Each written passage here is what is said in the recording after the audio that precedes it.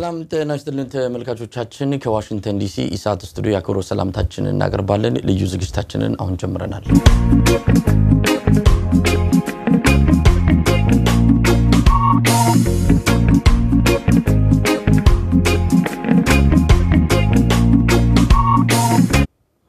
የኢትዮጵያ ሙስሊሞች ከግማሽ ክፍለ ዘመን በዘለቀ የእምነት ነጻነት ትግል ከጠየቋቸው ጥያቄዎች አንዱ የኢትዮጵያ እስልምና ጉዳዮች ምክር ቤት በአዋጅ እውቅና እንዲሰጠው ነበረ።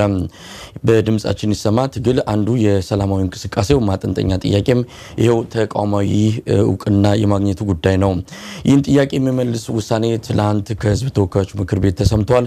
ምክር ቤቱ በ16ኛው መደበኛው ስብሰባው የኢትዮጵያ እስልምና ጉዳዮች ምክር ቤትን ህጋዊ ሰውነት ለመስጠት የቀረበውን ረቂቅ አዋጅ አጽድቆታል። ለመሆኑ ይህ ውሳኔ ለኢትዮጵያ ሙስሊሞች ምን ማለት ነው የሚል ጥያቄ አንስተን ከዚህ አሜሪካ ከሚገኘው የፈርስት ሂጅራ ፋውንዴሽን ኢማም ጋር ቆይታ እናደርጋለን። ሼህ ካሊድ ኡመር ይባላሉ። ሼህ ካሊድ በጣም አመሰግናለሁ። በጣም አመሰግናለሁ መሳይ። እንኳን እንግዲህ እናንተም ለዚህ እኛን በመጋበዛችሁ ምስጋና የላቀ ነው። እንግዲህ ይሄ ትልቅ ድል ነው ለኢትዮጵያ ሙስሊሞች። በዚህ አጋጣሚ እንኳን ደስ አላችሁ ለማለት እንወዳለን። እናንተም የፈርስት ሂጅራ ፋውንዴሽን ይህንን አስመልክቶ የደስታ መግለጫ አውጥታችኋል። እስቲ ከደስታ መግለጫችሁን ጀምርና ምን ማለት ነው ወደሚለው እንመጣለን። የደስታ መግለጫችሁ ምንድን ነው? بسم الله الرحمن الرحيم الحمد لله رب العالمين والصلاة والسلام على نبينا محمد وعلى آله وصحبه أجمعين እንግዲህ ያው መግቢያህ ላይ እንደገለጽከው የኢትዮጵያ ሙስሊሞች ከግማሽ ምዕተ ዓመት በላይ የታገሉለት ጉዳይ ውስጥ አንዱ የኢትዮጵያ እስልምና ጉዳዮች ከፍተኛ ጉባኤ ሕጋዊ እውቅና እንዲኖረው የሚል ነበር እና ይሄ እንግዲህ ከዘመን ዘመን አልፎ ከመንግስታቶች ተሸጋግሮ ተቀባብለው ዛሬ ላይ ይሄ ነገር እውን ሆኗል። ትላንትና ጁን 11 ላይ ሐሙስ ዕለት በኢትዮጵያ ምክር ቤት የተወካዮች ምክር ቤት ጸድቆ እንግዲህ ወደ ተግባር የሚቀየርበት የአዋጅ ጉዳይ ላይ ነው ያለው እና ይሄ ለኢትዮጵያ ሙስሊሞች ከፍተኛ ድል ነው ብለን ነው የምንገምተው። የኢትዮጵያ ሙስሊሞች በእርግጥ በዛች ሀገር ውስጥ የእኩልነት መንፈስ እንዲኖራቸው እንደዚሁም ደግሞ በዛች ሀገር ውስጥ ያላቸውን ሚና ከፍ እንዲያደርጉ እና በዛች ሀገር ውስጥ ሰላምና ዲሞክራሲ ውስጥ ደግሞ በሙሉ አቅማቸው እንዲንቀሳቀሱ የሚያደርግ አዋጅ ነው። እምነታቸውንም ደግሞ በአግባቡ በነፃነት እንዲተገብሩና አገልግሎቱንም ያ ተቋም ለማህበረሰቡ እነሱን በሚመጥን ልክ ከፍ እንዲያደርግ የሚያደርግ ትልቅ አዋጅ በመሆኑ ከፍተኛ ደስታ ነው የተሰማን። ይህንኑ ደስታ መግለጫም አውጥተናል። ያው ቅድም እንዳልከው በዚህ አጋጣሚ የኢትዮጵያ ምክር ቤት ተወካዮች ምክር ቤት ይህንን አዋጅ በማጽደቁ እንደዚሁም ደግሞ የክቡር ጠቅላይ ሚኒስትር ዶክተር አብይ አህመድ ካቢኔያቸው የሚኒስትሮች ካቢኔ እንደዚሁም እሳቸውም በዚህ ጉዳይ ላይ ከፍተኛ አስተዋጽኦ ያደረጉ በመሆናቸው ከኢትዮጵያ ሙስሊም ማህበረሰብ ከፍተኛ ምስጋና ይገባቸዋል ብለን እናምናለን፣ እናመሰግናለን። በአጠቃላይ በመንግስት መስሪያ ቤቶች፣ መንግስት ባለስልጣኖች፣ የሰላም ሚኒስቴርን ጨምሮ ይሄ ጉዳይ እንዲሳካ ላደረጉት ጥረት አላህ ይስጥልን፣ እናመሰግናለን። በጣም ደስ ብሎናል፣ አክሮታችሁናል፣ ዜግነታችን እንዲሰማን አድርጋችኋል። ኢትዮጵያን ወደፊት ያስኬዳል። አንድ እርምጃ ወደፊት ትሄዳለች ኢትዮጵያ ወይም ሄዳለች ማለትም ይቻላል እና ከፍተኛ አዋጅ ነው። እንግዲህ ደስ የሚል ተግባር ነው።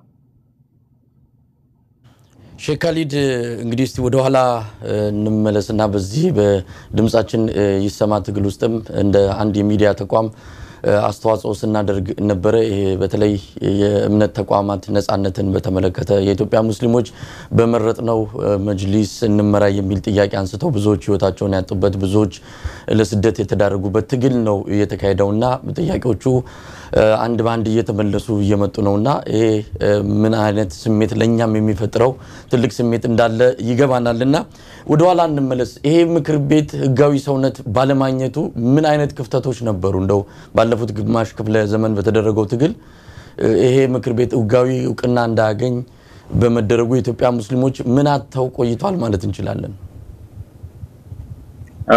በመጀመሪያ ደረጃ እንግዲህ ህጋዊ ሰውነት አለማግኘቱ ድርጅቱን በምን አቋም ላይ አድርጎታል ለሚለው እንደማንም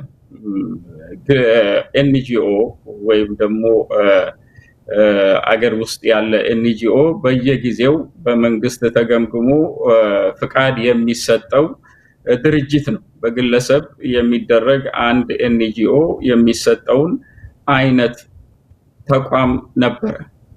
እንግዲህ NGO ዎች በኢትዮጵያ ህግ ለአንድ ሚኒስቴር ስር ያሉና በዛም ህጋቸው ውስጥ አንዱ ያ NGO በሚዘጋበት ጊዜ ወይም መንግስት ከዘጋው ንብረቱን ሙሉ ለሙሉ ለመንግስት የሚያስረክብ እና መንግስት ደግሞ ያ ለሚገባው ለሚመለከተው ክፍል አሳልፎ መስጠት የሚችል ነው። ስለዚህ ምንም ዋስትና የሌለው በማንኛውም ወቅት ላይሰንሱ ወይም ፍቃዱ ላይታደስለት የሚችል ሁሌም በስጋት ውስጥ ያለ እንቅስቃሴዎቹ ደግሞ የተገደቡ የኢትዮጵያ ሙስሊሙን ማህበረሰብ ማገልገል በሚገባው አቅም ላይ እንዳይሄድ ያደርገዋል። ምክንያቱም የኤንጂኦዎች ህጎችና ደንቦች የተገደቡ በመሆናቸው ያንን ሙስሊሙ ማግኘት የሚገባውን ጥቅም አላገኘም። ትልቁ ደግሞ መንግስት በሙስሊሙ ጉዳይ ላይ ጣልቃ እንዲገባ ካደረጉት አንዱ ዋነኛው ይሄ በአዋጅ አለመቋቋሙ የመንግስት ካድሬዎች መፈንጫ እንዲሆን ያደረገው እና ያንን ቤት የካድሬዎች ቤት ማለት ይቻላል ሙስሊሞች ሙሉ ለሙሉ መጨረሻ አካባቢ ተውለት ለመንግስት ወደ ራሳቸው በግላቸው መሳጅዶችን የሚሰሩበት ትምህርት ቤቶችን የሚሰሩበት አማራጭ ነበር ይዘው የሄዱት። ያም አልበቃ ብሎት ይህንኑ መጅሊስ በመጠቀም አህባሽ የሚባልን አንድን ሴክት አምጥቶ ከሊባኖስ በሙስሊሙ ላይ በዚህ ተቋም አማካኝነት የጫነ ጊዜ ሙስሊሙ በቃኝ ብሎ የተንቀሳቀሰበት ሁኔታ ነው ያለው እና እነዚህ ሁላ ጥሰቶች የተከሰቱት ይሄ መጅሊስ ወይም ደግሞ የኢትዮጵያ እስልምና ጉዳዮች ምክር ቤት በዚህ አዋጅ ባለመቋቋሙ ምክንያት ነው። የመንግስት ጣልቃ ገባነት፣ የተግባር ውስንነት፣ የአገልግሎት ውስንነት እና በዛች ተቋም ውስጥ የሚሰሩ ሰዎች ደግሞ በአግባቡ ሙስሊሙ ማህበረሰብ እንዲመርጥና እንዲወክሉት ማስቀመጥ አለመቻሉ እና የመሳሰሉት ችግሮች ነበሩት። እነዚህ የተወሰኑቱ ናቸው። እንግዲህ የኢትዮጵያ ሕዝብ ተወካዮች ምክር ቤት ይህንን ረቂቅ አዋጅ በአንድ ተቃውሞ በሙሉ ድምፅ ነው ያጸደቀው። የኢትዮጵያ ወንጌል አማኞች ምክር ቤትም እንደዚሁ ተመሳሳይ የሆነ እውቅና ማግኘቱ ነው የተገለጸው። ሼህ ካሊድ እንግዲህ ይህ ምን ማለት ነው? አሁን የኢትዮጵያ እስልምና ጉዳዮች ምክር ቤት ህጋዊ ሰውነት አገኘ ሲባል ለአንድ ኢትዮጵያዊ ሙስሊም ምን ትርጉም ይሰጠዋል? አንደኛ እንደ ሙስሊም እንደ ግለሰብ ሙስሊም በዛች ሀገር ውስጥ እኔም ዜጋ ነኝ ከሌሎች የእምነት ወንድሞቹ ወይም ባልደረቦቹ ጋር እኩል ነኝ የሚል ስሜት ይሰማዋል። ምክንያቱም ይሄ ህጋዊ እውቅና የተሰጣት ብቸኛ ተቋም የኦርቶዶክስ ቤተክርስቲያን ብቻ ነበረች። ሙስሊሙ ግን ይህንን እውቅና አላገኘም። ዛሬ ሙስሊሙም ይህን ማግኘቱ እና ሌሎቹም በዚህ ጉዳይ ላይ ትላንትና አሁን የጠቀስካቸው ይህንን እውቅና ማግኘታቸው ሙስሊሙ እኔ እኩል ነኝ፣ በዚህ ሀገር ውስጥ ዜጋ ነኝ፣ ከሌላው ጋር እኩል እምነቴን ማራመድ እችላለሁ የሚል ስሜት እና ደግሞ መብቱን በውስጡ እንዲሰማው የሚያደርግ ነው። ሁለተኛ ተቋሙንም ራሱ እንደ ተቋም ያንን ተቋም በአግባቡ ሙስሊሙን በሚመጥን አገልግሎት ላይ እንዲሳተፍ የሚያደርግ ነው። ከዚህ በፊት ያው ኤንጂኦዎች የሚፈቀድላቸው የገንዘብ መጠን ከውጭም የሚያስገቡት ወይም ከውስጥም የሚያገኙት በመጠንና በቁጥር የተገደበ ነበር እና እነዚህ ነገሮች አሁን የተነሱበት እና በቀጥታ ራሱን የችሎ ሙስሊሞችን ወክሎ ለሙስሊሙ ጥቅም የሚሆኑትን ትምህርት ቤቶች እንደዚሁም ደግሞ ዘካ የሚባል ስርዓት አለ።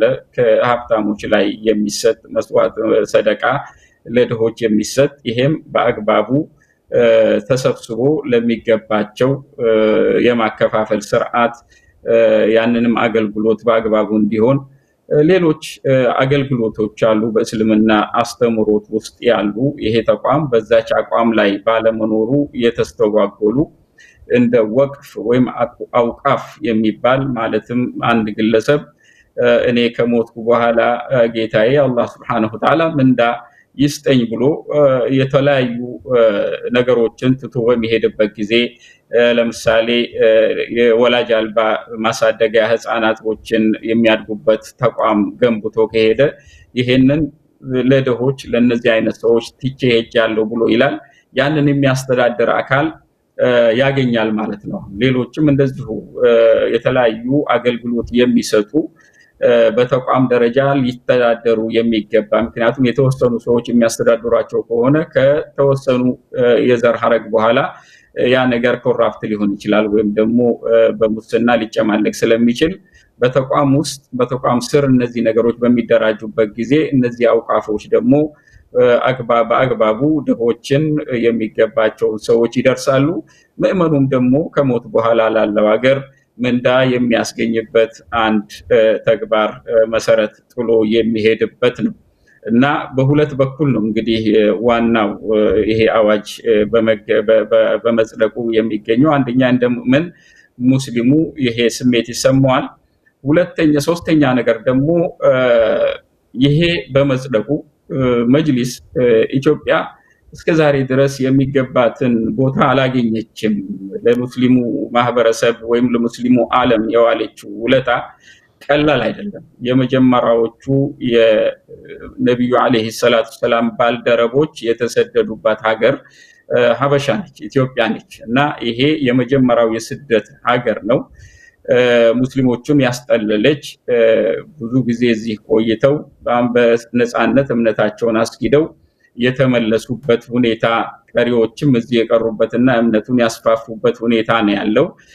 ለዚህ ውለታ ሙስሊሙ ዓለም የኢትዮጵያ ባለ ዕዳ ነው እላለሁኝ እና ይህንኑ የማስተዋወቅና ሌሎች እስላም ሀገራቶች ለዚች ሀገር ልማት የበኩላቸውን እንዲያደርጉ ፕሮሞት የማድረግ የማስተዋወቅ ስራ እንደዚሁም ደግሞ የኢትዮጵያ ታሪክ ውስጥ ሙስሊሙ ያለው ታሪክ ተጠንቶ በጥናት የተቀመጠና በህዝብ ለህዝብ ይፋ የሆነበት ሁኔታዎች ብዙ የሉም። ምክንያቱም ተቋም ስለሌለን እነዚህ ታሪኮች ተጸንቶ በአዋቂዎች ለህዝብ የሚወጡበት ሁኔታ እና ቅርሶች ለህዝብ የሚወጣበትና ለቱሪዝም የሚቀርብበትና ለኢትዮጵያ የገንዘብ ወይም የገቢ ምንጭ የሚሆኑበት አጋጣሚዎችን መፍጠር የሚችል ነው። ይሄ አዋጅ በመጽደቁ ማለት ነው። እና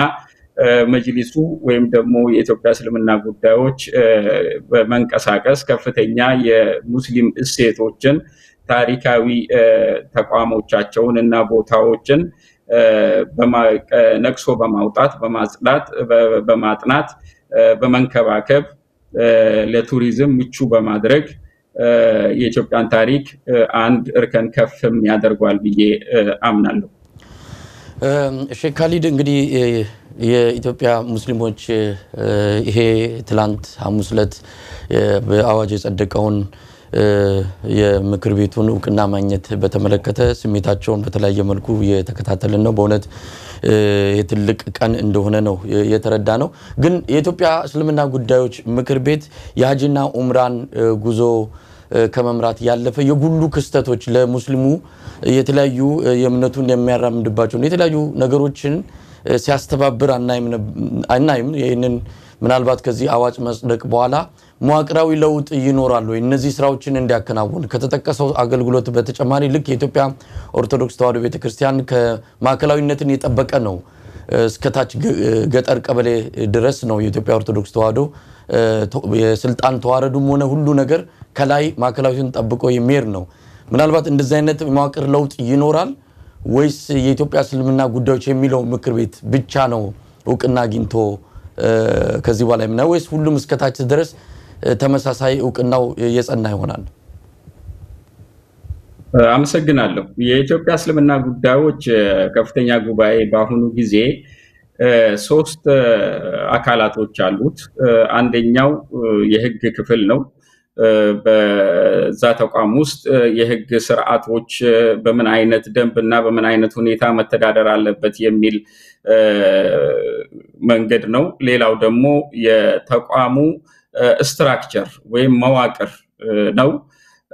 ሶስተኛው ደግሞ የዑለማዎች ወይም ደግሞ የሃይማኖት አባቶች አዋቂዎች ምክር ቤት ነው። በእነዚህ በሶስቱም ዙሪያ ዘጠኙ ኮሚቴ ተብሎ ከቀድሞ የኢትዮጵያ እስልምና ጉዳዮች ሙስሊሙ ማህበረሰብ ሲቃወመው ከነበረው ሶስት ሰው እንደዚሁም ደግሞ ከምሁራን ሶስት ሰው እንደዚሁም ደግሞ ከመፍትሄ አፈላላጊ ኮሚቴ ሶስት ሰው ክቡር ጠቅላይ ሚኒስትር አቋቁመው ያንን የቀድሞ መጅሊስን ስራ ለደዚህ ለነዚህ ለዘጠኙ ኮሚቴ አስረክበው እነዚህን ስራዎች እንዲሰሩና በቀጣይነት ምርጫ በሚደረግበት ጊዜ በዚህ መዋቅራዊና ህገ ደንብ እንደዚሁም የዑለማዎች ደንብ መሰረት እንዲሄድ ያስቀመጡበት ሁኔታ አለ። ስለዚህ እነዚህ ነገሮች ጥናቶች ተጠንተው የተቀመጡና ለነዚህ አሁን በስልጣን ላይ ያሉ የእስልምና ጉዳይ አመራሮች ቦርዱም የዑለማ ምክር ቤቱም ደንቦችና ስርዓቶች ተቀምጦለታል። በዛ መሰረት ነው የሚሄደው። ለስድስት ወር ተብሎ ነበር የተቀመጠው እና ያንን ወቅት ተሻግረውታል። አሁን እንግዲህ ይሄ አዋጅ በመጽደቁ ምክንያት እነዚህ አሁን ያሉት አመራሮች ጊዜ ሳይሰጡ ይሄ ቀጣዩ ምርጫ እንዴትና በምን አይነት ሁኔታ መሄድ አለበት የሚል ስብሰባ አድርገው ወስነው ለህዝቡ transparent ግልጽነት ባለበት ሁኔታ ሳይውል ሳያድር የሚያሳውቁበት ሁኔታ ይኖራል ብዬ አስባለሁ። ማድረግም አለባቸው። ከዛ በኋላ እንግዲህ structure ሩ ተቀምጦለታል፣ ህገ ደንቡ ተቀምጦለታል። መንግስትም በኩል በአዋጅ ጸድቆለታል። አዲስ የሚጨመር ነገር የለም። ስራዎች ባይሆን ተጨማሪ ስራዎች ይኖራሉ። ቀደም ብሎ እንዳልከው የሐጅና ኡምራ ተግባር ጎላ ብሎ የሚታይም ቢሆን አሁን ግን በትምህርት ዘርፍ ትምህርት ቤቶችን፣ ዩኒቨርሲቲዎችን፣ ኮሌጆችን ከታች እስከ ላይ በዚህ በሃይማኖቱ ትምህርትና በዘመናዊ ትምህርት ምዕመናንን የማብቃት ስራ እንደዚሁም ደግሞ በግብረ ገብ መልክም እንደዚሁ እስላማዊ አስተምሮት እንዲኖራቸው ወጥነት ያለው አስተምሮ ደግሞ ምክንያቱም የኢትዮጵያ ሙስሊሞች ከዚህ በፊት ወጥነት ያለው አስተምሮ አልነበረም እና በትምህርት ቤቶች ደረጃ ካሪኩለም ተቀርጾ ተመሳሳይ አይነት አስተሳሰብ ወይም አመለካከት በሚኖረው የተለያዩ ልዩነቶችን ቢኖሩም ሙስሊሞች በጋራ አንድ የሚያደርጋቸው አስተሳሰቦች አሉ እና እነዛን አስተሳሰቦች በየትምህርት ቤቶቹ የሚሰርጹ እና ሙስሊሙ ማህበረሰብ አንድ የሚያደርጉ አስተምሮቶችም ላይ ይሄም ደግሞ ሀገርን የሚደግፍ ነው። ከዛም አልፎ ተርፎ እንግዲህ ሙስሊሙ ማህበረሰብ በዛች ሀገር ማህበራዊ ጉዳይ፣ በኢኮኖሚው ጉዳይ፣ በፖለቲካውም ጉዳይ ንቁ ተሳትፎ እንዲያደርግ ይሄ ተቋም ከአሁን በኋላ ሙሉ አቅም ይገነባል ብዬ አምናለሁ።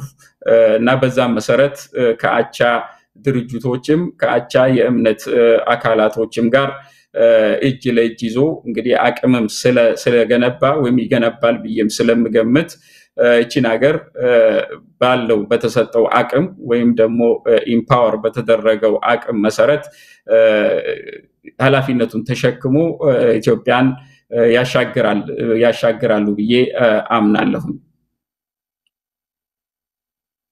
ይህ በኢትዮጵያ ሙስሊሞች ይህንን የኢትዮጵያ እስልምና ጉዳዮች ምክር ቤትን በእውቅና ማግኘት ተከትሎ የተለያዩ ጥያቄዎች ሊነሱ ይችላሉ። ከዚህ በኋላ የኢትዮጵያ ሙስሊሞች ጥያቄዎች እንግዲህ ሁሉም ተመልሷል ማለት አይቻልም።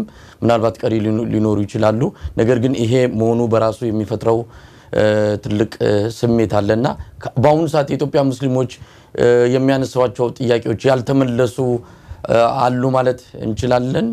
ይህንንስ እንዴት ነው የኢትዮጵያ እስልምና ጉዳዮች ምክር ቤት በዚህ ደረጃ እውቅና ተሰጥቶት የሚያካሄደው ከሆነ እነዚህ ችግሮችስ የመቀረፍ እድላቸው ምን ያህል ነው ብለው ይገምታሉ?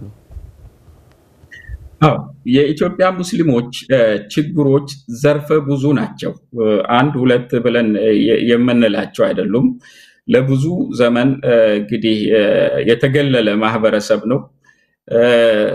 loyalty ወይም ደግሞ ተአማኒነቱም ወይም ደግሞ ለሀገር ያለው loyalty ወይም ደግሞ ተአማኒነት ጥርጥር ውስጥ እንኳን ሰዎች የሚያስገቡበት ሁኔታ አለ፣ ሙስሊሞችን ማለት ነው እና በትምህርትም በማህበራዊ ኑሮም በኢኮኖሚም የተገፋ ማህበረሰብ ነው እና ዘርፈ ብዙ ችግሮች አሉት።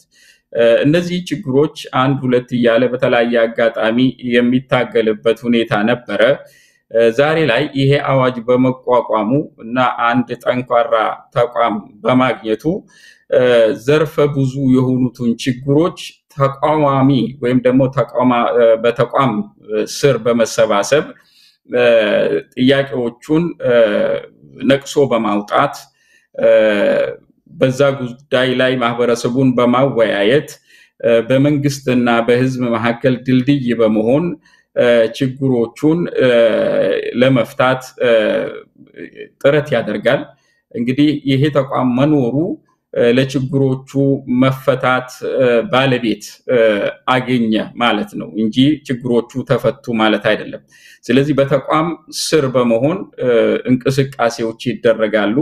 ተቃዋሚ በሆነ መንገድም ተቃዋሚ በሆነ መንገድ የሚጠየቁ ጥያቄዎች ደግሞ በዛ መሰረት ትኩረትም ስለሚያገኙ በመንግስትም በኩል አግባብ በሆነ መንገድ ተጠይቆ ምላሽ የሚያገኙበትና የሙስሊሙን ችግር ቀርፈው እኩል ደረጃ መጥቶ የኛ ችግር የክርስቲያኖቹ የክርስቲያኖቹ ችግር የኛ ችግር መሆኑ እስኪረጋገጥ ድረስ ዘርፈ ብዙ የሆኑ ችግሮችን በዚህ ተቋም ስር በመሆን ሙስሊሙ ይታገላል፣ ያስፈጽማል ብዬ አምናለሁኝ። በግል መሮጡ ከዚህ ጊዜ በኋላ ያበቃል ብዬ አስባለሁ። እንግዲህ ወደ ወቅቱ የኢትዮጵያ ሁኔታ እንምጣና እንግዲህ አጠቃላይ ሁኔታውን እንዴት ያዩታል? እንግዲህ እርስዎ ያለፉት አራት አምስት ዓመታት በኢትዮጵያ በተለያዩ መስኮች የሚከሰቱ ችግሮችን ከእምነትም ጋር የተያዙ በተለያየ መልኩም ያሉ ጉዳዮች ላይ አስተያየት በመስጠት ሃይማኖታዊ ምክር በማስተላለፍ አባታዊ መልእክቶችንም እንደዚሁ ለምዕመናን በማስተላለፍ ይታወቃሉ። አሁን ኢትዮጵያ የገባችባቸው የተለያዩ ችግሮች አሉ። ይህን ችግር ለመፈታት በመንግስት በኩል እርምጃዎች ተወስዳሉ። የሁሉም ድምፅ ይሰማ የሚለው ዓለም አቀፉ ማህበረሰብም ጉዳይ አለ። እንግዲህ እንዴት ያዩታል? እንደ አንድ ሃይማኖት አባት የኢትዮጵያን ወቅታዊ ሁኔታ እንዴት ይመለከቱታል? እንግዲህ በዚህ አሁን ያለንበት ወቅት ፈጣሪ الله سبحانه وتعالى ኢትዮጵያን ብቻ ሳይሆን ዓለማችንን በአንድ በአንድ ቅጣት ወይም ደግሞ በአንድ የ الله سبحانه وتعالى ቅጣት ስር ነው ያሉት ብዬ ነው የማስበው። ይኸውም ይሄ COVID nineteen የሚል ቫይረስ ጠቅላላ ዓለም ላይ እንዲወር እና ዓለሙን ቀስፎ እንዲይዝ ያደረገው ጌታዬ አምላኬ አላህ ስብሐነሁ ወተዓላ ብዬ ነው የማምነው። ይህም ደግሞ በሰዎች ጥፋት ምክንያት የመጣ ነው ብዬ ነው የማምነው እንደ አምና ሃይማኖት አባት። ይህም የሚነሳ ደግሞ ሰዎች ወደ ጌታቸው ወደ ፈጣሪያቸው በመመለስ ነው።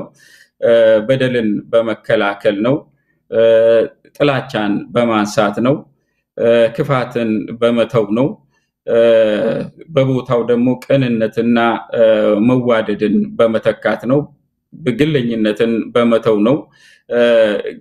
እኛነትን ወይም ደግሞ የጋራነትን፣ መተሳሰብን፣ ለሌላው ለድሃው ማዘንን በማምጣት ነው ይህንን ፈተና መሻገር የምንችለው እና አላህ ስብሓነሁ ወተዓላ በቁርአኑ ኢነላሃ ላ ዩገይሩ ማ ቢቀውሚን ሐታ ዩገይሩ ማ ቢአንፉሲሂም በአንድ ማህበረሰብ ውስጥ ያለውን ጉዳይ አልቀይርባቸውም ወይም አልቀይርላቸውም በውስጣቸው ያለውን እስካልቀየሩ ድረስ። ስለዚህ አሁን የኛ ለውጥ አስፈላጊ ነው። በኢትዮጵያ ደረጃ በምንመጣበት ጊዜ ኢትዮጵያ እንግዲህ አሁን ያለችበት ፈተና ይሄ ዓለማችንን የያዘው ፈተና አንዱ ፈተና ነው። መጪው ደግሞ ክረምት ነው። ክረምት ላይ ይሄ ነገር ይበዛል ብለው ይታመናል። አንድ ይሄ ፈተና አለባት። ሁለት እንደዚሁም የአንበጣ ወረርሽኝ አለ። ሶስት ድህነታችን፣ የኑሮ ውድነቱ አለ። አራት የፖለቲካው ቀውስ ነው። በአሁኑ ጊዜ የዚህ የምርጫው በኮቪዱ ምክንያት የመጣው የምርጫ ጉዳይ ነው። እንግዲህ ሁለቱ ኮቪዱ በሽታውን በተመለከተ እና አንበጣውን በተመለከተ ሰዎች ኢትዮጵያውያኖች እንደ ግል የሚያደርጉት አስተዋጽኦ ሊኖር ይችላል። ኮቪዱን ለመከላከል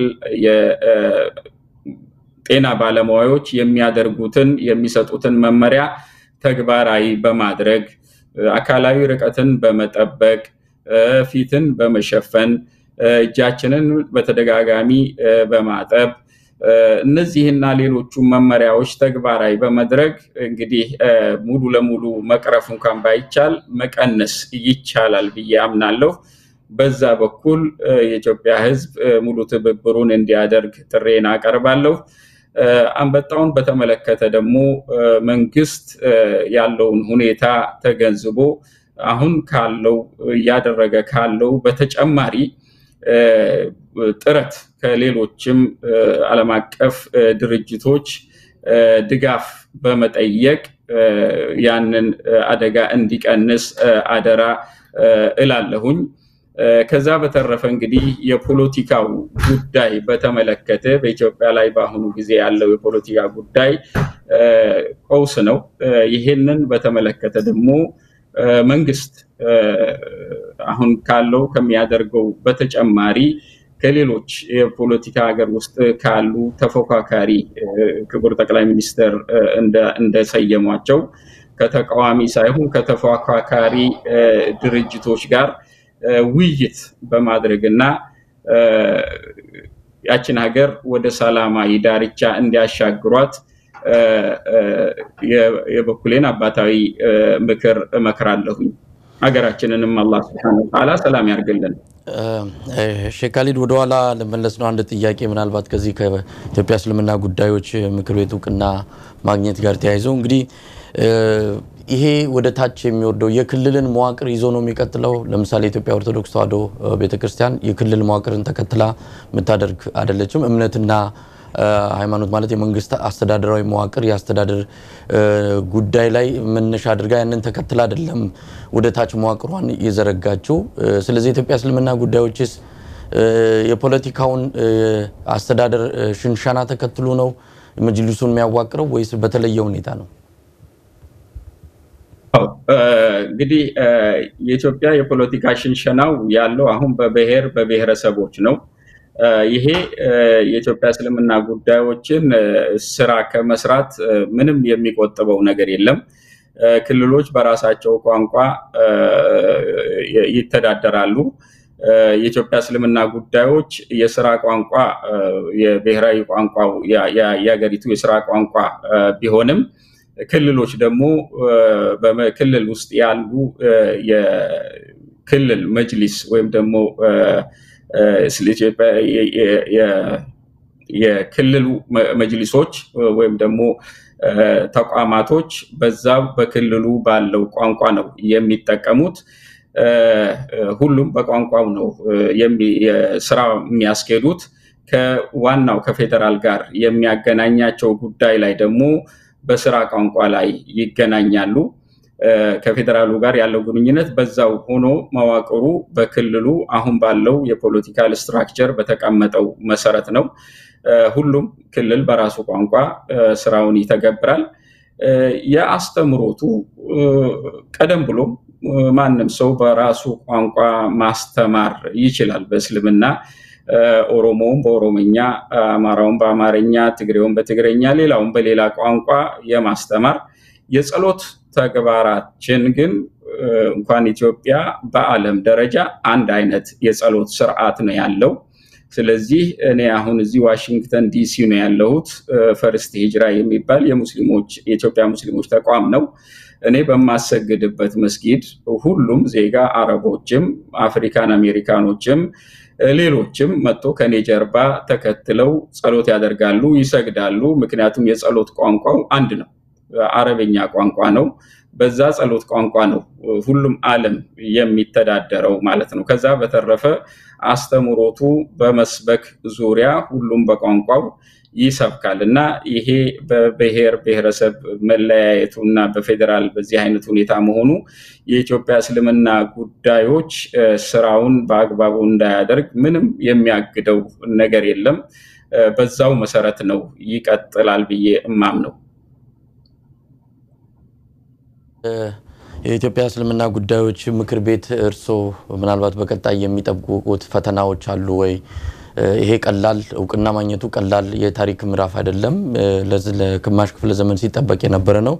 አንድ የኢትዮጵያ ሙስሊሞች ጥያቄ ምላሽ ያገኘበት በመሆኑ ከዚህ በኋላ ከዚህ ምክር ቤት የሚጠበቁ ብዙ ነገሮች አሉ፣ ብዙ ኃላፊነቶች አሉ እና እንደው ፈተናዎቹና ኃላፊነቶቹን በአግባቡ እንዲወጣ የሚያስተላልፉት መልእክትስ ይኖራል ለምክር ቤቱ? በጣም ነው የማመሰግነው። እንግዲህ ፈተናዎች ብዬ የማምነው ከዚህ በፊት ጣታችንን ሌላ ላይ ነበር ስንቀስር የነበረው። መንግስት ይሄን አላደረገልንም፣ ሌላው አካል ይሄን አደረገን እያልን ነበረ። አሁን ኳሷ በሙስሊሞች እጅ ገብታለች። ማንንም የምንወቅስበት ወቅት ላይ አይደለንም ያለ ነው። ስለዚህ የራሳችንን ጉዳይ በራሳችን የምንፈታበት አቅም ተሰጥቷል። መንግስት ይህንን ይሁንታ ሰጥቷል። ስለዚህ የቤት ስራ ነው ይሄ። አሁን ከባድ ነው። እኛ በእኛነታችን የምንፈተንበት ወቅት ይሄ ነው። ስለሆነም የመጀመሪያው ፈተና እና ማለፍ ያለብን ብዬ እማምነው አሁን ያለው የኢትዮጵያ እስልምና ጉዳዮች ለስድስት ወር ጊዜ የተሰጠው እና ከዛ ጊዜ ያለፈ በመሆኑ የተመረጡትም በአፖይንቲ ነው ማለት በመመደብ ነው። እነዚህ እነዚህ ይግቡ ተብሎ በመግባት ነው የገቡት እና ህዝብ መርጧቸው የገቡ አይደሉም። ነገር ግን ቀደም ብሎ ከነበሩ የመጅሊስ አመራሮች በተለየ ሁኔታ የሙስሊሙ ማህበረሰብ ይሁንታን ያገኙ የምንወዳቸው፣ የምናከብራቸው፣ የምናልቃቸው አባቶቻችን ናቸው እዛ ውስጥ ያሉት። ብንወዳቸውም ብናልቃቸውም ብናከብራቸውም ምርጫ የግድ ነው። በመምረጥ ደግሞ ተመርጠው ተመልሶ ብለን እናምናለን። ስለዚህ ምርጫው ትልቁ ፈተናቸው ነው ብዬ አምናለሁ እና በአጭር ጊዜ ውስጥ ምናልባትም በአንድ ወርና ከዛ በአጭር ጊዜ በበለጠ roadmap ወይም ደግሞ ፍኖተ ካርታ አዘጋጅተው በዚህ ጊዜ ውስጥ COVID nineteen ባለበት ሁኔታ ምርጫ ማድረግ እንኳን ባይቻል የምርጫውን ሁኔታ በዚህ ጊዜ በዚህ አይነት ሁኔታ እናደርጋለን የሚል እና ማህበረሰቡን የሚያሳውቁበት ሁኔታ የመጀመራቸው ስራቸው መሆን አለበት ብዬ አምናለሁ። ሁለተኛ በዚህ በአሁኑ አመራር ውስጥ በገቡበት ጊዜ ቀደም ብሎ እንደምታውቀው አንተም መሳይ ሱፊ፣ ሰለፊ የሚባሉ አህባሽ የሚባሉ ሴክቶች አሉ እና ክቡር ጠቅላይ ሚኒስትር ለማቀራረብ በሚያደርጉበት ባደረጉት አስታራቂ ሁኔታ ዘጠኝ ኮሚቴዎች ሲዋቀሩ ከሁሉም የተውጣጣ አድርገው መጨረሻ ላይም ደግሞ ከሱፊም ከሰለፊም ብለው መተማመን በመካከላቸው እንዲኖር ከዚህ በፊት የነበረው መንግስት እነዚህን በመለያየት የራሱን ገበያ ሲገበይ የነበረ በመሆኑ እስቲ ደግሞ አሁን እድል ሰጥቻችኋለሁ በጋራ ሁናችሁ እስቲ ተጠናኑ ብሎ በጋራ እንዲሰሩ አድርጓል። ይሄ አንድ አመት ለነሱ ጥሩ አስተምሮ ጥሩ ተሞክሮ ነው ብዬ ነው ማምነው። ነገር ግን እርግጠኛ አሁን ላሉት አመራሮች እምነግራቸው ወደ ምርጫ በሚሄዱበት ጊዜ ማንም በሱፊነት ወይም በሰለፊነት ለምርጫ የቀረበ እንደሆነ የአንድንም ሙስሊም ምርጫ ወይም ደግሞ ድምፅ እንደማያገኙ በእርግጠኛነት እንዲያውቁ እንዲገነዘቡ ነው እምነግራቸው። ሙስሊም የሚል ባንዲራ ወይም ደግሞ ምልክት ይዘው ማናቸው በግል የተለያየ ሴክት ወይም ደግሞ ቡድን መሪም አባልም ሊሆኑ ይችላሉ። ነገር ግን ይሄ ተቋም የሙስሊሞች ተቋም ነው፣ የማንም ሴክት ተቋም ስላልሆነ፣ ስለዚህ ከዚህ ጊዜ ጀምሮ ማቀንቀን ያለባቸው አንድነትን ነው፣ ሙስሊምነትን ነው። ስለዚህ ከዚህ ውጭ ሌላን ማቀንቀን መብታቸውም ቢሆን ነገር ግን የዛ ቦታ ኃላፊነት አይደለም። ከዛ ቦታ ላይ ያለ ሰው ኃላፊነትም ወይም ደግሞ ከሱም የሚጠበቅ ወይም ከነሱም የሚጠበቅ ተግባር ባለመሆኑ ከዚህ ጊዜ ጀምሮ እነዚህን ሴክቶች ስሞቹን እንኳን መጠየፍ እንዳለባቸው እና እዛ ቦታ ላይ ሙስሊም የሚል ስም ብቻ ይዘው ሙስሊሞችን በአጠቃላይ ማንንም ሳያገሉ አህባሽንም ጨምሮ ማለት ነው ማንንም ሳያገሉ በሙስሊሙን በአጠቃላይ በእኩልነት ማገልገል እርስ በርስ መገፋፋት ተትቶ ማንም ይመረጥ ማንም ይመረጥ ያ ቦታ የሙስሊሙ ቦታ ነው። ሙስሊም ነኝ እስካለ ድረስ ታርጋ ሊሰጠው አይገባም። በሚገባበት ጊዜ ደግሞ ማንንም ወክሎ አይደለም ወይም ደግሞ እሱ የሚወክለውን ወይም ደግሞ የሚያምንበትን ሴክት ሳይሆን ሙስሊሙን ወክዬ ነው የመጣሁት ብሎ የመጣ አካል ነው። በዛ መሰረት ቀጥሎ ያለው ተግዳሮት ወይም ፈተና ይሄ ነው ብዬ ስለማምን ይሄንን ማድረግ አለባቸው። ሶስተኛ ተግዳሮት ነው ብዬ እማምነው ከዚህ በፊት እንግዲህ መጅሊሱ ይመራ የነበረው በለምድ በተለምዶ ነው። ተቋማዊ የተቋም structure ቢኖርም ያንን ተከትሎ የመስራት ሁኔታ አይታይም ነበረ። በአሁኑም ላይ ያሉት አመራሮች በዚህ ጉዳይ ላይ ከቀድሞ የተሻለ ቢሆንም አሁንም በዛ መሰረት መንቀሳቀሱ ብዙ የሚታይ አይደለም እና በቀጣይ በዚህ በተቀመጠላቸው መመሪያ መሰረት በህግ እና በስርዓት የሚመሩ መሆኑን የሚመሩ መሆኑን ማስገንዘብ ወይም ደግሞ በዛ መሰረት እንዲሄዱ ነው አደራ ምለው። ምክንያቱም ከዛ ውጭ በሄዱ ቁጥር የሙስሊሙን መብት የሙስሊሙን ተግዳሮቶች ለመቅረፍ በሚያደርጉት ጉዞ ውስጥ እንከን ሳንካ ስለሚሆኑ ሙያዊ ብቃታቸውን እንዲያሻሽሉ በደንብና በስርዓት መስራትን ከወዲሁ ክህሎታቸውን ከፍ እንዲያደርጉ አደራዬን እገልጻለሁ። ዑለማዎቻችን፣ መሪዎቻችን፣ የሃይማኖት አባቶች አላህ ስብሐነሁ ወተዓላ ምንዳቸውን ይስጣቸው። በጎራ ሰዎችን መከፋፈል ትተው በሙስሊም ጥላ ስር የሚያሰባስቡ ቃላቶችን እንዲያደርጉ ከወዲሁ እማጸናለሁ፣ ጠይቃለሁ። አላህ ስብሐነሁ ወተዓላ ለሰሩትም ምንዳቸውን ይስጣቸው። ሼክ ካሊድ እንግዲህ ይሄ የኢትዮጵያ እስልምና ጉዳዮች ምክር ቤት በአዋጅ እውቅና ሲሰጠው በአንድ ተቃውሞ በሙሉ ድምፅ እንደነበረ ጠቅሰናልና ተቃውሞ ምናልባትም በአንዳንድ የመረጃ ምንጮችም እንዳረጋገጥ ነው የትግራይ ተወካይ የህወሓት ተወካይ የሆኑት ግለሰብ ናቸው የተቃወሙት የሚባል ነገር አለ። ለማንኛውም በትግራይ አካባቢ የኢትዮጵያ ሙስሊሞች የሚደርስባቸው ፈተና አለ። በዛ የመስገድም ጨምሮ መስጊድ የማቋቋምም ብዙ ችግሮች እንዳሉ በተለይ አክሱም አካባቢ ያሉ ሙስሊሞች ፈተና ውስጥ እንዳሉ ይታወቃል እና ምናልባት ይህ ተቃውሞ በፓርላማ ያቀረቡት ግለሰብም ለኢትዮጵያ እስልምና ጉዳዮች ምክር ቤት እውቅና እንዳይሰጠው በዛ ደረጃ የተቃወሙበት ፖለቲካዊ ምክንያት አለ ወይ የሚል ጥያቄ እንዲነሳ አድርጓል። በዚህ አጋጣሚ የሚሉት ነገር አለ እንደው ይሄ ጉዳይ የትግራይ ኢትዮጵያ ሙስሊሞችንም ቀን እንዲወጣላቸው በዚህ አጋጣሚም ይሄም ለነሱም ጭምር የመጣ ደስታ በመሆኑ በዚህ አጋጣሚ የሚሉት ነገር አለ። በጣም ነው የማመሰግነው ለዚህ ጥያቄ መሳይ። ያው የኢትዮጵያ ሙስሊሞች ችግሮች ውስጥ አንዱ በአክሱም እና በላሊበላ የራሳቸው መስጊድ እና የመቅበሪያ ቦታ አለመኖር ነው። ይሄንን ከዚህ በፊት በግለሰቦች ወይም ደግሞ ተቋም ባልሆነ መንገድ የጠየቅንበት ሁኔታ አለ። እኔም በግል እዚህ ክቡር ጠቅላይ ሚኒስትር ወደ ዋሽንግተን ዲሲ በመጡበት ጊዜ የጠየቁበት ሁኔታ አለ። እንግዲህ ኢትዮጵያ የጋራችን ነች። ኢትዮጵያውያኖች በዛች ሀገር ላይ እኩል ናቸው ብለን ያለን ህገ መንግስት ይሄንኑ የሚያጸድቅ ነው።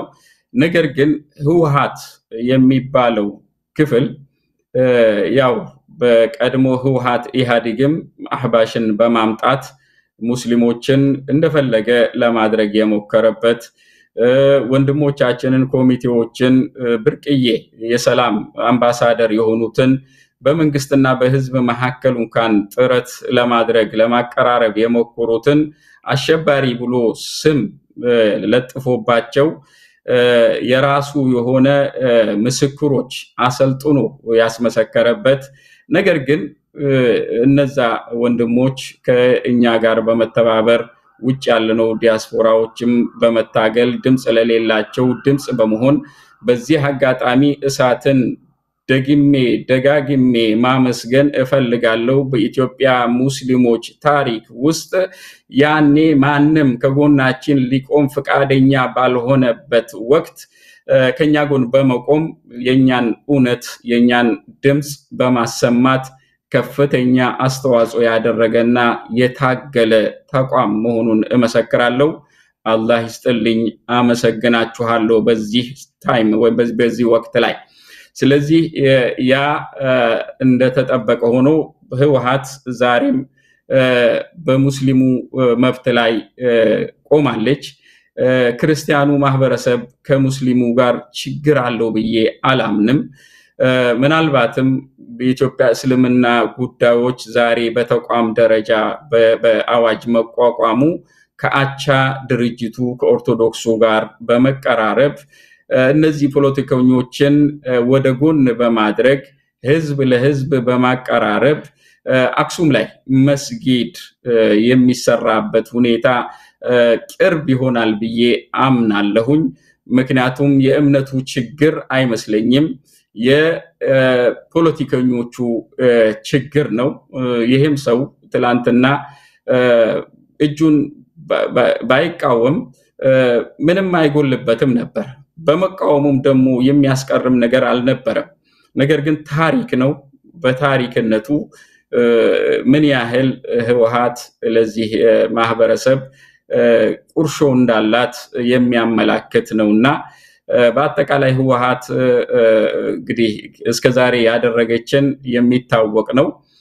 አሁንም ይኸው በአንድ ተወካዩ አማካኝነት እንግዲህ ይህንን የውስጥ ጥላቻውን የገለጸበት ሁኔታ ነው የምናየው። ላደረጉት ደግሞ ሌሎቹ እጅ ላነሱትና ለደገፉትም እናመሰግናለን። ነገር ግን አሁንም የአክሱም ጉዳይ ሙስሊሙ ካለው ዘርፈ ብዙ ችግሮች ውስጥ አንዱ ነው ብለን ስለምናምን ኦርቶዶክስ ቤተክርስቲያን ሲኖዶሱ ከኢትዮጵያ እስልምና ጉዳዮች ጋር በመሆን ይህንን ይቀርፋል ብዬ አምናለሁ። ምናልባትም ታሪክም ይሰራሉ ብዬ አምናለሁ። አክሱም ላይ መጠጥ ቤት አለ። አክሱም ላይ ምናልባት ናይት ክለቦችም ሊኖሩ ይችላሉ። አክሱም ላይ መስጊድ ቢኖር አክሱምን ከፍ ያደርጋታል እንጂ አክሱምን ዝቅ አያደርጋትም። አክሱም ያ የነቢዩ ዓለይሂ ሰላቱ ወሰላም ባልደረቦችን የተቀበለች ከተማ ነች። አክሱም በዛን ጊዜ የጨለማው ዘመን የተባለበት ወቅት ላይ አረቦችን፣ ሙስሊሞችን ከበደል የተቀበለች ከተማ ዛሬ ዜጎቿን የራሷን ህዝብ መስጊድ አሰሩም ብሎ ማለት ይሄ ከነሱም ጋር የአክሱም ከተማ ህዝብ ወይም የኢትዮጵያ ክርስቲያን ማህበረሰብ ባህሪም እምነትም አይደለም። ይሄ ክርስቲያኑንም አይመጥንም፣ እዛ ያለውንም ህዝብ አይመጥንም። ይሄ የፖለቲከኞቹ ጨዋታ ነው። ይሄንን ክርስቲያኑ ይሻገረዋል፣ ታሪክም ይሰራል። ምናልባትም በሚሰራው መስጊድ ላይ የበኩላን ታደርጋለች ብዬ ገምታለሁ። ሲኖዶስም ያንንም አድርገን ኢትዮጵያን እናሻግራት፣ ለኢትዮጵያ ታሪክ አንድ እርምጃ ከፍ እናርግ፣ መልሰን ዳግማዊ ነጃሺን በአክሱም ላይ በመስጊድ በመስራት ዳግማዊ ነጋሺ መስጊድ ተብሎ የሚሰየም እና ትልቅ መስጊድ እንዲሰራ በዚህ አጋጣሚ ለትግራይ ማህበረሰብ ለኦርቶዶክስ ሲኖዶስ ማህበረሰብ ጥሬን አቀርባለሁ። ያንንም ያደርጋሉ ብዬ ሙሉ እምነት አለኝ፣ ተስፋም አደርጋለሁ። ግናለሁ ሼህ ካሊድ እንግዲህ በማጠቃለያ ምን ይላሉ? እዚህ የታሪክ ምዕራፍ ላይ ትልቅ የታሪክ ምዕራፍ ነው። ቀደም ሲል እርሶም ጠቅሰውታል። ከኢትዮጵያ ሙስሊም ከአንድ ኢትዮጵያ ሙስሊም ምን ይጠበቃል? ከአንድ ኢትዮጵያ ክርስቲያን ምን ይጠበቃል? ይሄ ተቻችሎና ተከባብሮ ለዘመናት የቆየው አብሮነት አሁንም በተለያዩ ምዕራፎች ተጠናክሮ የሚቀጥልበት ሁኔታ ነው እያየን ያለ ነው እና እንደው በመጨረሻ የሚያስተላልፉት መልእክት አለ? ደስ ብሎናል ብዬ ያለው ይሄ ደስታ አጠቃላይ የኢትዮጵያ ሙስሊም ማህበረሰብ ደስታ ነው። የኢትዮጵያን ሙስሊም ማህበረሰብ እንኳን ደስ አለህ እለዋለሁ። ይሄ ደስታ የኢትዮጵያ ክርስቲያኖች ወገኖቻችን ደስታ ነው ብዬ አምናለሁ።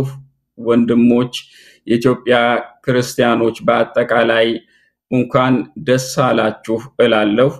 እንደዚሁም ይሄ ደስታ የኢትዮጵያ ሕዝቦች ደስታ ነው። የሙስሊም፣ የክርስቲያኑ፣ የብሔር የብሔረሰቡ ሁላችሁም ይሄንን ሙስሊም ወንድሞቻችሁ ይህንን መብት በማግኘታቸው ምክንያት እንኳን ደስ አላችሁ፣ እንኳን ደስ አለን እላለሁ። በአጠቃላይ እንግዲህ ሀገራችን ድህነት ያለባት ሀገር ነች። ዲሞክራሲን ለመለማመድ የዳኸች ያለች ሀገር ነች። የተለያዩ ችግሮች ያሉባት ሀገር ነች። ከዜጎቿ ብዙ ትጠብቃለች። እንደ ሙስሊም ማህበረሰብ ይህንን አጋጣሚ በመውሰድ ለዛች ሀገር አንተም እንግዲህ ምን አድርጌላታለሁ የሚለውን ጥያቄ እያንዳንዱ ሙስሊም ራሱን ጠይቆ በዛች ሀገር ዲሞክራሲ፣ ሰላም እና እኩልነት እና ብልጽግና የበኩሉን አስተዋጽኦ እንዲያደርግ አደራ እያልኩኝ በአጠቃላይ የኢትዮጵያ ህብረተሰብም እርስ በርስ ተቻችሎ ተዋዶ እንደዚሁም ጎን ለጎን በመረዳዳት ያችን ሀገር እንግዲህ ወደ ሰላማዊ ዳርቻ እንዲያሻግሯት አደራዬን እላለሁ። الله سبحانه وتعالى ያችን ሀገርና ዓለማችንን በአጠቃላይ ይጠብቅልን። ይህንን በዓለማችን ላይ የመጣውንም መቅሰፍት الله سبحانه وتعالى እንዲያነሳልን ጌታዬን አላህን እማጸናለሁ።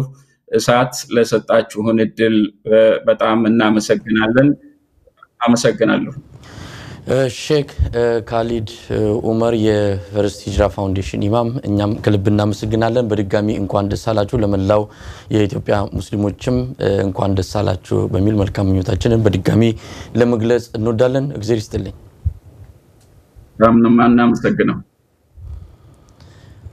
ተመልካቾቻችን የኢትዮጵያ እስልምና ጉዳዮች ምክር ቤት በሕዝብ ተወካዮች ምክር ቤት እውቅና ማግኘቱን አስመልክተን ከ First Hijrah Foundation ኢማም ሼክ ካሊድ ኡመር ጋር ያደረግነው ቆይታ ይህንን ይመስላል። አሁንም ለኢትዮጵያ ሙስሊሞች እንኳን ደስ አላችሁ እንላለን።